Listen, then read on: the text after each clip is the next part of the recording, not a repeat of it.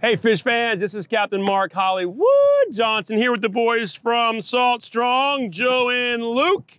And we're in downtown Islamorada, getting ready to see if we can't catch a tarpon on the good old fashioned dead bait. So, you see tarpon fishing in springtime is a big deal in the Keys. We fish them live bait, dead bait, frozen bait, fly rod, jigs. You can catch them a lot of different ways. So live bait everybody likes, but everybody likes the dead bait too. So this time of year, fresh mullets, butterflied up, put on the bottom in a lot of these deeper channels around town, especially during the midday hours in the high sun time, is a great way to catch a tarpon. Now, not only do you catch a tarpon, when you got fresh bait on the bottom, you're liable to catch sawfish, which is a pretty cool creature if you've never seen one, Goliath grouper, different types of sharks, even a giant stingray. So when you're in the charter business and you're trying to get bites and catch different things, a lot of what we call sea monsters, fresh dead mullet on the bottom is one of the best baits to get it done. So we talk about how we butterfly a bait. So we have fresh mullet here on the good old Yeti cutting board. All right, everyday mullet. So you're gonna start up here in the back and you come right up along the backbone almost like you were filleting it backwards. Sharp knife always comes in handy. This is a new blade from Gerber. Okay, so you see how I'm, I'm taking out this backbone and all the roes and stuff. So what that does for you here, what we call butterfly, you can see how nice and soft that is. It's fresh, it's oily, it's stinky, all the right things for fish to pick up the smell and the current, but taking that bone and tail out of the way makes a bait of that size much easier to eat for your predator. So in comes the 8 circle hook by owner, inline circle hook, 100 pound Ande leader, ounce lead, and you take this bait here and you hook it up both lips up through the middle of the head. You want the hook in the bone so that it helps stays on like that. So this bait is gonna lay on this bottom it's going to smell, it's going to stink, it's going to do its thing. And as this tide is pushing, it takes this smell and it broadcasts all over this area. So all of your creatures, predators, big fish, like I say, tarpons, groupers, sharks, stingrays, sawfish, even a big jack crevalle, even a big barracuda, they all can't wait to eat a bait like that. And we're out here in 10 feet of water, in downtown Islamorada, what we call a butterfly mullet on a knocker rig, if you will. And uh, stay tuned, let's see what we catch. So when you go to cast this big bait out, remember, you can't go whipping this like the old Slam Shady. So you're gonna lob this cast downwind, down current, you're gonna get it to the bottom, and you're gonna fish it with what we call the reel locked up. So it will not be in free spool, it will be bail closed, and it'll be drag set and ready for the bite. When you fish the big circle hook, there's no hook set. You leave the rod in the rod holder. When you get the bite, it's gonna come tight and you're gonna know. So you don't need to hold it and you don't need to waffle the big bass hook set on it, okay? So remember, drag's locked up, bail closed, in the rod holder, let the rod holder do the work. We call it fishing with Rodney. All right, so now we're gonna cast this big giant bait, and like I said, you can't go whipping it like the big Slam Shady, so it's an underhand lob, nice and easy, and you let it go. Soon as it hits the water, you stop that line and give it a chance to sink to the bottom. You're gonna fish it on a tight line. You don't want any slack in there. Set your drag, we're gonna be probably around nine, maybe 10 pounds on the 30, okay? Line's tight, bait's on the bottom. In the rod holder it goes. And this gets bit, there's no nibbles in big fish world, okay? This gets bit, even Joe's gonna know. All right, so stay tuned, let's see if we get a bite. Hey, so while we're sitting here soaking our dead baits on the bottom to increase our chances of getting bite, we're gonna add a live one with a cork and we're gonna put it out behind the dead baits. And the reason for the cork is to keep that bait where we can always see it and just to make sure that it doesn't get tangled among our dead bait that are on the bottom, okay? We're in 10, 11 feet of water, so I can get away with two fresh dead baits on the bottom, fresh live mullet going out, a little cork to keep him honest and up high, and that's just gonna put one more bait in the water for us to help us get a bite today. That way he doesn't swim down to the bottom and get tangled. There's your nurse shark. Eat it.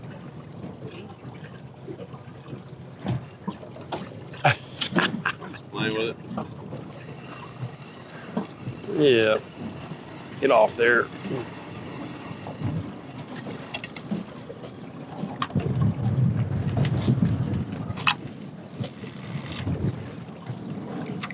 Hey, all right, Luke, you're hooked up. Let's see what creature you got. I don't think it's our tarpon, but it ate the fresh dead bait. We're gonna find out.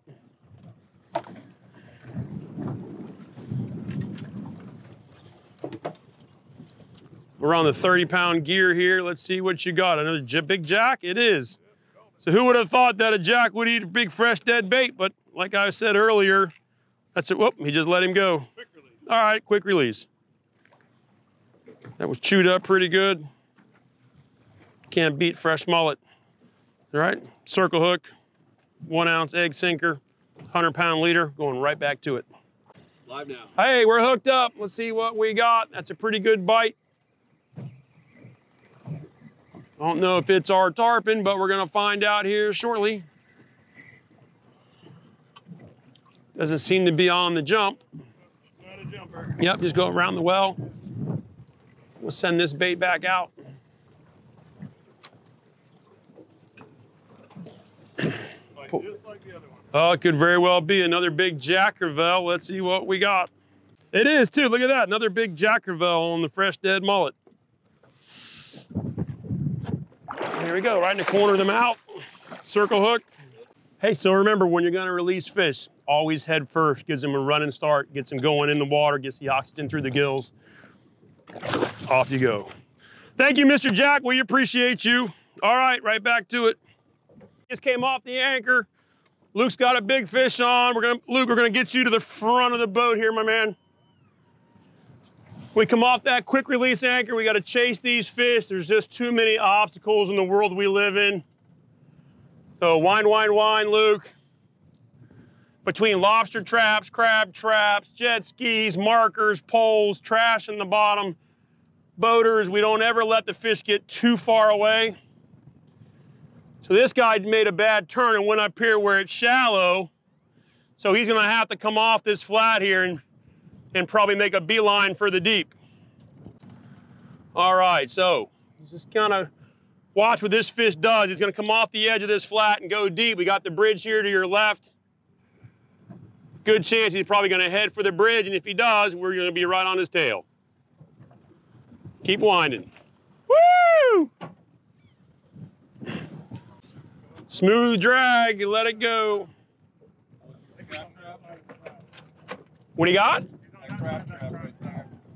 He's been okay. Okay, yep, just do your thing. We gotta watch our own anchor rope actually. Fish did a full 360. Woo! Nice. Wind down and watch that trolling motor around the front. If he goes around, you go around the front. Nice job there. Just so, yep, you can. He's pulling hard. You wind down and put that knot in the top of the rod if you can. when he's ready. Nice work. That's what we're after. And this bite also here was in the middle of the day. For all the time they tell you you can't catch them in the middle of the day. It's 2.30 in the afternoon and we're hooked up. There you go. Just take your time. Be ready for the close jump again. Yeah, wind down to him. Lift the parallel as high as you go. Get ready for the little jump there.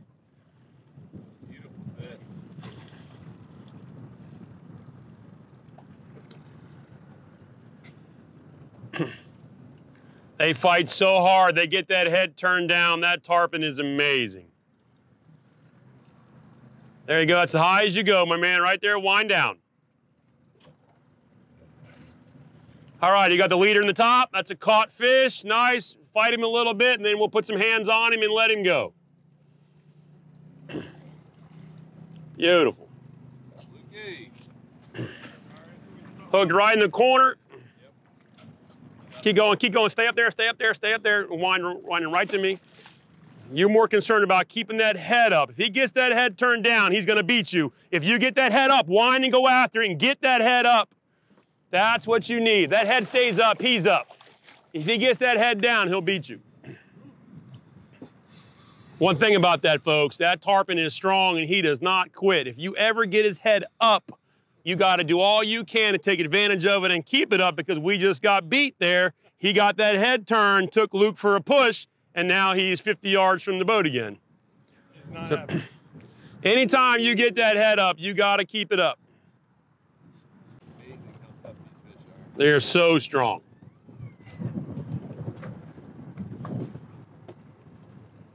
Wind down and lift up.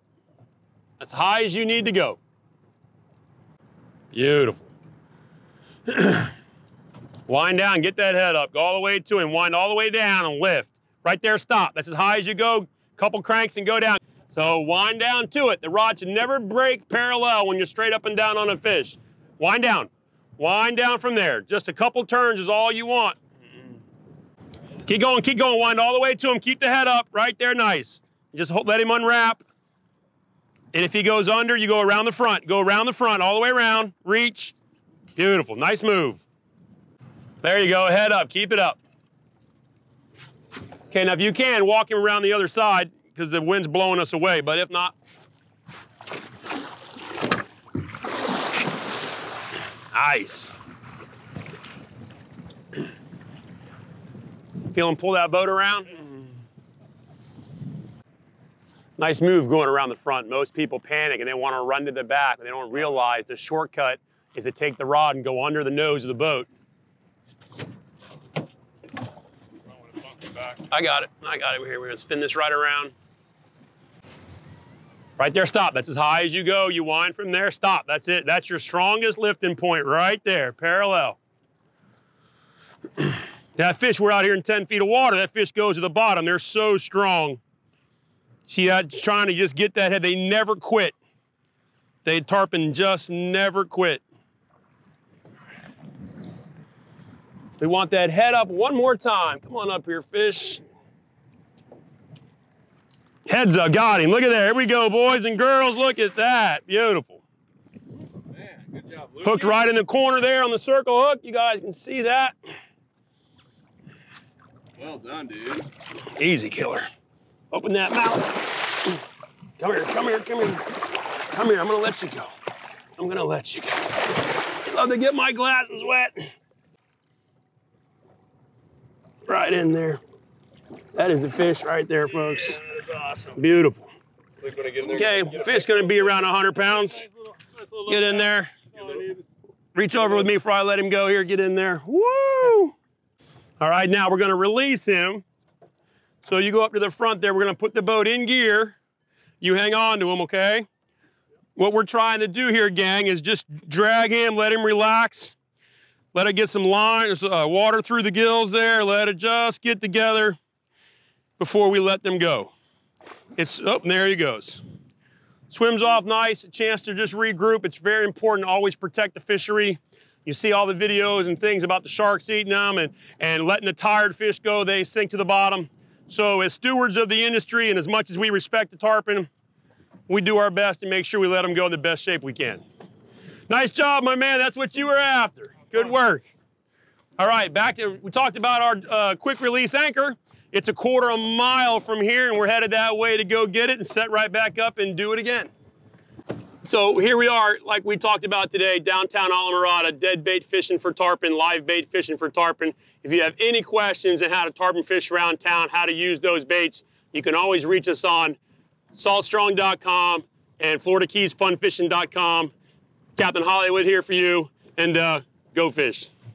And if you're new to Salt Strong, just know that we're the best online fishing club in America because we actually guarantee that you'll be catching more fish while saving time and money. We do this through our premium education, our exclusive insider community, and huge discounts on all the tackle you need. To learn more, go to saltstrong.com. Otherwise, hope to see you again soon.